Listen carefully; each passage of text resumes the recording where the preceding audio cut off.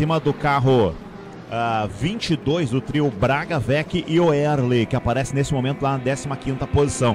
Lembrando que largar. É o entreveiro formado, né? bonito. É, e ali a gente vai vendo o Nico na função toda, no entreveiro.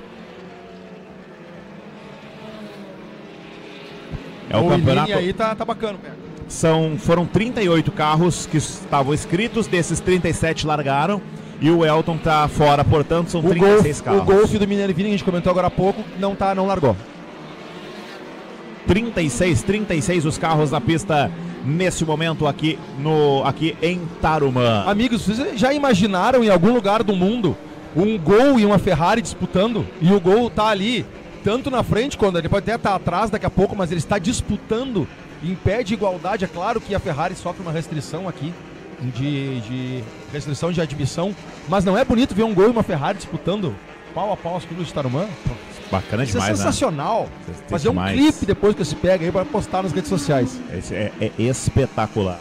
Claro que esse gol, vamos explicar então um pouquinho desse gol.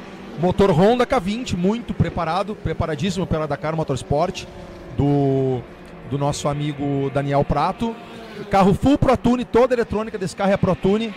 Ah, e aí eu falei dele foi pro box. Acaba de ir pro box, o, não sei o Bernardo ou o Chico que tá nesse carro aí.